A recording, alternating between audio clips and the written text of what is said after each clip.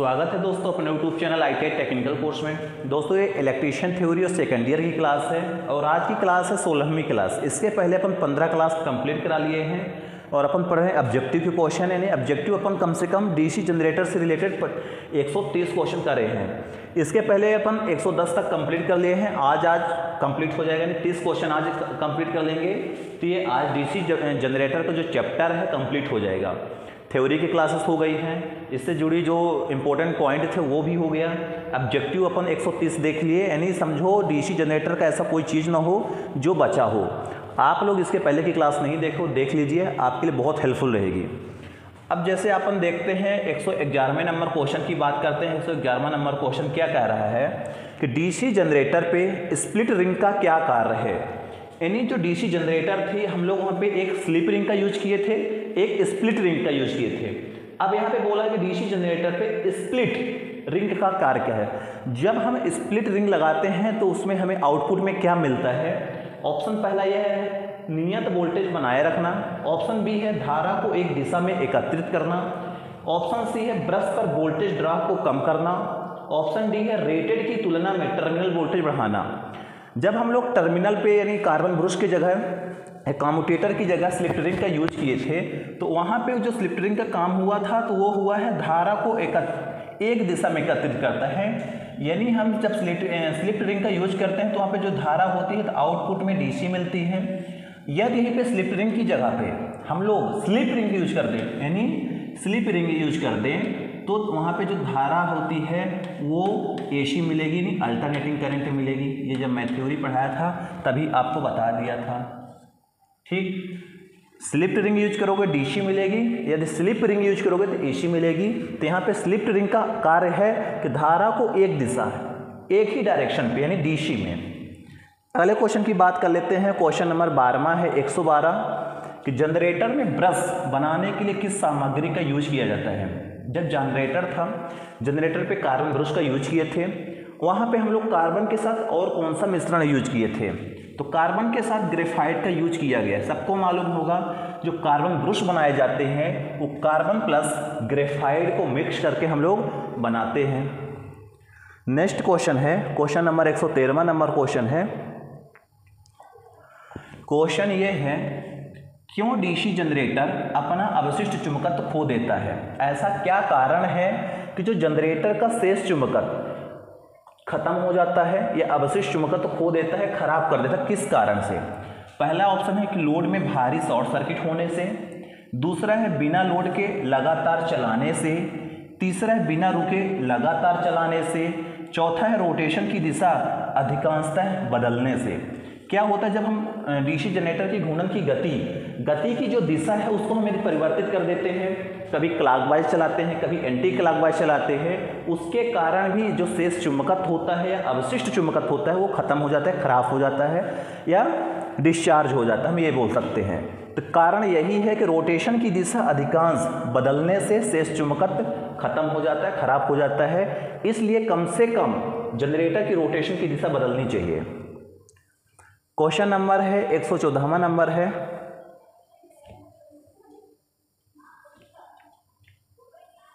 Question है एक सौ चौदहवा नंबर क्वेश्चन ये है, एक जनरेटर में योग और पोल के मध्य से चुंबकीय सर्किट कैसे पूरा होता है? पोल, मैं बताया था पोल क्या होता है और योग यानी बॉडी। पोल और योग यानी बॉडी के माध्यम से चुंबकीय सर्किट कैसे पूरा होता है? ऑप्शन ए है फ़ील्ड कॉयल के माध्यम से, ऑप्शन बी है कोर, आर्मेचर कोर से ऑप्शन सी है पटलित पोल कोर से, ऑप्शन डी है आर्मेचर में बाइंडिंग कंडक्टर से। तो जो जनरेटर पे योग और पोल के मध्य, जो चुंबकीय सर्किट पूरा होता है, वो आर्मेचर कोर के माध्यम से पूरा होता है। इन जो आर्मेचर कोर होती है, उसी के माध्यम से हमारा योग और पोल के मध्य से चुंबकीय सर्किट कंप्लीट होता है। अगला क्वेश्चन है, एक सौ नंबर क्वेश्चन है कि डीसी संट जनरेटर में, डीसी संट जनरेटर पे लोड बढ़ाने पर टर्मिनल वोल्टेज कम क्यों हो जाता है? जो डीसी संट जनरेटर है, जैसे ही लोड का मान बढ़ा देते हैं तो टर्मिनल वोल्टेज क्यों कम हो जाती है? कारण बताना है। तो इसका कारण ऑप्शन ए सही होगा, आर्मेचर प्रक्रिया प्रभाव के कारण। यानी जब किसी डीसी जनरेटर पे हम लोड का मान बढ़ा देते हैं तो उसमें से टर्मिनल वोल्टेज कम क्यों होती है? जो आर्मेचर रिएक्शन था, इसके प्रभाव के कारण ही टर्मिनल वोल्टेज कम हो जाती है। आर्मेचर रिएक्शन क्या होता है? इसकी थ्योरी आप लोग पढ़ लेना। बहुत अच्छे से मैंने पढ़ाया है आर्मेचर रिएक्शन के बारे में। अगला क्वेश्चन है 116वां नंबर क्वेश्चन ये है लंबी दूरी की वितरण लाइनों के लिए किस प्रकार के डीसी जनरेटर का उपयोग किया जाता है? बहुत दूर लाइन हमें ले जाना है, यानी ट्रांसमिट करना है एक जगह से दूसरी जगह 150 किलोमीटर की दूर पर रेंज पर। यानी एक जगह से दूसरी जगह हमें बिजली ले जाना है, वो भी डीसी प्रकार के ले जाना है।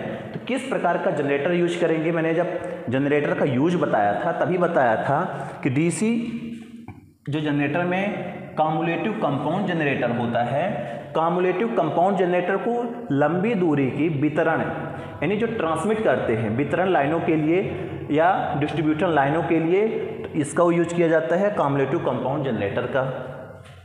अगला क्वेश्चन है एक सौ नंबर क्वेश्चन ये है कि टीसी जनरेटर में इंसुलेशन प्रतिरोध को बेहतर बनाने के लिए किस विधि का उपयोग किया जाता है? जो हमारा डीसी जनरेटर है जनरेटर में इंसुलेशन रजिस्टेंस को बेहतर बनाने के लिए किस मेथड का यूज़ करते हैं? तो ये इसका राइट आंसर होगा डी नंबर रख रखाव के दौरान मशीन में गर्म हवा देना। क्या होता है जब इंसुलेशन का प्रतिरोध हमें अच्छा बनाए रखने के लिए, जब हम अपने जनरेटर को रख रखाव करते हैं तो उसमें हीट एयर दे सकते हैं। गर्म हवा देकर हम उसका प्रतिरोध उसी तरह बनाए रखेंगे, जिस तरह पहले था उस प्रतिरोध कम होने नहीं देंगे या बढ़ने नहीं देंगे। अगला क्वेश्चन है, अवशिष्ट चुंबकत्व के अभाव में किस प्रकार का डीसी जनरेटर काम करता है? अवशिष्ट चुंबकत्व के अभाव में किस प्रकार का डीसी जनरेटर काम करता है? इसका राइट आंसर होगा डी नंबर अलग से उत्तेजित जनरेटर अलग से उत्तेजित, यानी सेपरेटली एक्साइटेड होता है. अवशिष्ट चुंबकत्व के अभाव में किस प्रकार का डीसी जनरेटर काम करता है? सेपरेटली एक्साइटेड जनरेटर या अलग से उत्तेजित जनरेटर बोल सकते हो. यानी जो सेपरेटली एक्साइटेड जनरेटर होता है, उसमें अलग से सप्लाई देना पड़ता है. किसी भी प्रकार के शेष चुंबकत्व की ज़रूरत नहीं पड़ती। जो शेष चुंबकत्व होता है, इसमें सेल्फ जनरेटर, जो सेल्फ एक्साइटेड जनरेटर होते हैं, उसके लिए यूज़ किया जाता है। जो पृथक उत्तेज जनरेटर होते हैं, उसमें हम लोग अलग से ही सप्लाई देते हैं, तभी वो चलते हैं। अगला क्वेश्चन है, आर्क वेल्डिंग के लिए किस प्रकार का डीसी जनरेटर को यूज़ किया जाता है?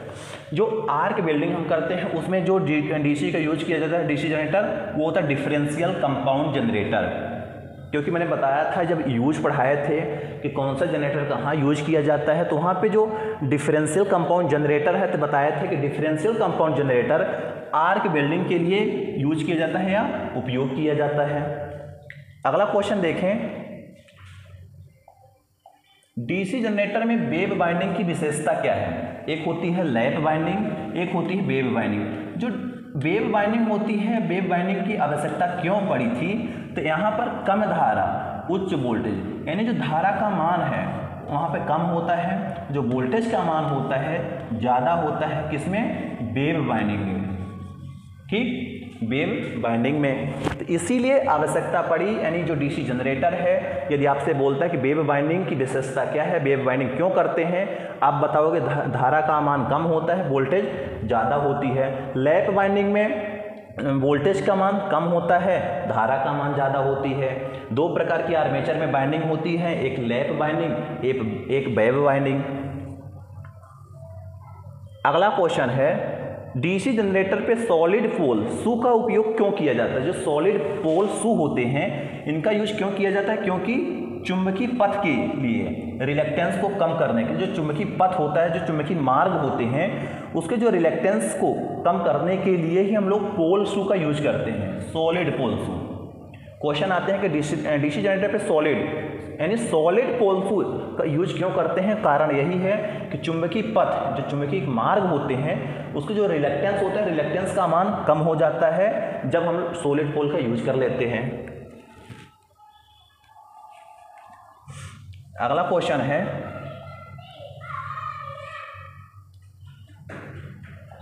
क्वेश्चन अगला है।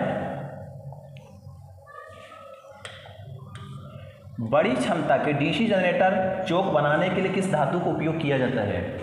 बड़ी क्षमता के जो डीसी जनरेटर, जो चौक बनाने के लिए किस मटेरियल किस धातु का यूज़ किया जाता है? तो आप बताओगे रोल्ड स्टील इसका राइट आंसर होगा डी नंबर रोल्ड स्टील बड़ी क्षमता के डीसी जनरेटर के चौक बनाने के लिए यूज़ किए जाते हैं। ट्वेंटी थ्री नंबर है क्वेश्चन। डीसी जनरेटर पे स्लिप रिंग का क्या कार्य है, सबको मालूम होगा। एक ही दिशा में आउटपुट देता है, यानी डीसी सप्लाई देता है। कौन सी सप्लाई डीसी सप्लाई देता है स्लिप्ड रिंग अगला क्वेश्चन है डीसी जनरेटर में किस प्रकार का वोल्टेज गतिशील रूप से प्रेरित होता है? यानी जो डीसी जनरेटर है डीसी जनरेटर में किस प्रकार के वोल्टेज गतिशील, यानी हमारा रोटेटिंग ईएमएफ उत्पन्न होता है, ये होता है प्रत्यावर्ती वोल्टेज डीसी जनरेटर में किस प्रकार का वोल्टेज गतिशील रूप से प्रेरित होता है? जैसे मैं बताया था, गतिशील रूप से प्रेरित, यानी एसी वोल्टेज यानी अल्टरनेटिंग करंट उत्पन्न होती है। ठीक? बहुत ज़्यादा जूम हो गया। अगला क्वेश्चन है 125 नंबर, कि डीसी जनरेटर पे फ़ील्ड कॉयल का उद्देश्य, यानी जो डीसी जनरेटर है, उसमें हम फ़ील्ड कॉयल का उद्देश्य क्या है? फ़ील्ड कॉयल क्यों यूज़ करते हैं? सबको मालूम होना चाहिए राइट आंसर कॉयल फ्लक्स उत्पन्न करने के लिए ध्रुव को चुंबकित करता है। जो फ़ील्ड कॉयल का उद्देश्य फ़ील्ड कॉयल क्यों लगाते हैं फ़ील्ड वाइंडिंग क्यों करते हैं, कारण यही है कि कॉयल का फ्लक्स उत्पन्न करने के लिए जो ध्रुव को चुंबकित करता है पोल को मैग्नेटाइज करता है। अगला क्वेश्चन है क्वेश्चन नंबर 126 है। बड़े डीसी जनरेटर मशीनों के पोल कोर बनाने के लिए किस धातु का उपयोग किया जाता है? जो बड़े डीसी जनरेटर होते हैं, जो मशीन होते हैं, उसके पोल और कोर बनाने के लिए किस मटेरियल का यूज़ किया जाता है? ये होता है कास्ट स्टील इसका राइट आंसर होगा। सी नंबर यानी कास्ट स्टील का यूज़ किया जाता है। अगला क्वेश्चन है, क्यों पोल कोर टैंपिंग को डीसी जनरेटर में लेमिनेटेड करते हैं? क्यों पोल कोर टैंपिंग को डीसी जनरेटर में लिमिनेटेड करते हैं? इसका राइट आंसर होगा डी नंबर इसका राइट आंसर वो डी नंबर भमर धारा हानि को कम करने के लिए ही हम लोग पतली पतली पत्तियों को लिमिनेट करके पोल कोर बनाते हैं। अगला क्वेश्चन है एक नंबर इलेक्ट्रोप्लेटिंग प्रक्रिया के लिए किस प्रकार के डीसी जनरेटर का यूज़ किया जाता है? तो इलेक्ट्रोप्लेटिंग के लिए हम लोग संट जनरेटर का यूज़ करते हैं। इसका संट जनरेटर का यूज़ करते हैं। अगला क्वेश्चन है यदि संट फ़ील्ड प्रतिरोध का क्रांतिक प्रतिरोध मान से ऊपर है तो डीसी जनरेटर पर क्या प्रभाव पड़ेगा? यदि संट फ़ील्ड प्रतिरोध क्रांतिक प्रतिरोध के मान से ऊपर है तो क्या प्रभाव पड़ेगा? इसका राइट आंसर होगा सी नंबर जनरेटर वोल्टेज बनाने में विफल रहता है। यानी जो जनरेटर है, हमारा वोल्टेज नहीं बना पाएगा फेल हो जाएगा। यदि क्रिटिकल मान ज़्यादा है प्रतिरोध का तो। अगला क्वेश्चन है डीसी जनरेटर में आर्मेचर प्रतिक्रिया प्रभाव क्या है? जो डीसी जनरेटर पे आर्मेचर रिएक्शन का जो प्रभाव है, ये आउटपुट वोल्टेज कम हो जाता है। इसके कारण ही आर्मेचर रिएक्शन के प्रभाव के कारण ही वोल्टेज का मान कम हो जाता है। अगला क्वेश्चन है इसी में, बड़े डीसी जनरेटर में आर्मेचर प्रक्रिया के प्रभाव को कैसे न्यूट्रल न्यूट्रल किया जा सकता है? जो बड़े डीसी जनरेटर हैं, उसमें जो आर्मेचर रिएक्शन होता है तो आर्मेचर रिएक्शन को हम कैसे कम कर सकते हैं, कैसे ख़त्म कर सकते हैं, ये अपन थ्योरी में पढ़े थे कि ब्रश संपर्क प्रतिरोध बढ़ाकर हम लोग आर्मेचर रिएक्शन के प्रभाव को कम कर सकते हैं। अगला क्वेश्चन है इसी में। डीसी जनरेटर पे क्या प्रभाव होता है यदि इसे लंबे समय तक बंद रखा जाए? हमारा डीसी जनरेटर है, बहुत दिनों तक बंद रखा पड़ा है तो क्या प्रभाव हो सकता है? इसका राइट आंसर होगा, अपने अवशिष्ट चुंबकत्व को खो देता है। यानी जो डीसी जनरेटर पे एक शेष चुंबकत्व स्टोर रहता है, हम बहुत दिनों तक डीसी जनरेटर का यूज़ नहीं करेंगे तो अवशिष्ट चुंबकत्व भी खराब हो जाएगा खत्म हो सकता है। अगला है न्यूमेरिकल है। एक हज़ार R P M lap wound एक होती बैप बाउंड एक होती लैप बाउंड एक हज़ार R P M lap wound conductor की कुल संख्या 600 है, तथा फ्लक्स प्रति पोल 0.064 बेवर है। तब चार पोल डायनमो के प्रेरित ईएमएफ यहाँ पे बताना है कि ई एम एफ़ कितना उत्पन्न हो रहा है, ठीक? तो इसका राइट आंसर होगा 640 वोल्ट 135 नंबर क्वेश्चन है। यदि मुख्य क्षेत्र का प्रवाह डीसी जनरेटर में विकृत हो जाए तो प्रेरित ईएमएफ पर क्या प्रभाव पड़ेगा? इसका राइट आंसर होगा, प्रेरित ईएमएफ घटता है। यदि मुख्य क्षेत्र मेन फ़ील्ड प्रवाह जो डीसी जनरेटर पे विकृत हो जाए तो प्रेरित ईएमएफ पर जो प्रभाव पड़ेगा, वो प्रेरित ईएमएफ घट जाएगा। अगला क्वेश्चन है, लास्ट नंबर डीसी जनरेटर का थ्योरी खत्म। क्वेश्चन नंबर ये है, थर्टी सिक्स, एक सौ छत्तीस डीसी जनरेटर के ब्रश में अधिक स्पार्किंग का कारण। आपको सबको मालूम है कि अधिक स्पार्किंग होती है एम और जी स्थिति बदलते समय। जब हम एम से जीएमएनए की तरफ़ फ्लक्स को शिफ्ट करते हैं, वहाँ पर स्पार्किंग ज़्यादा होती, सबको मालूम होना चाहिए। तो ये थे 136 तक अपन ऑब्जेक्टिव के क्वेश्चन करें बहुविकल्पी थे इसलिए थोड़ा फास्ट कराएँ ताकि आप लोग थ्योरी पढ़े होंगे तो बहुत सरल थे। जो डिस्कशन करने लायक थे, उसको डिस्कशन कर लिए हैं। मिलते हैं नेक्स्ट क्लास पे डीसी मोटर का शुरुआत करते हैं। जय हिंद, जय भारत।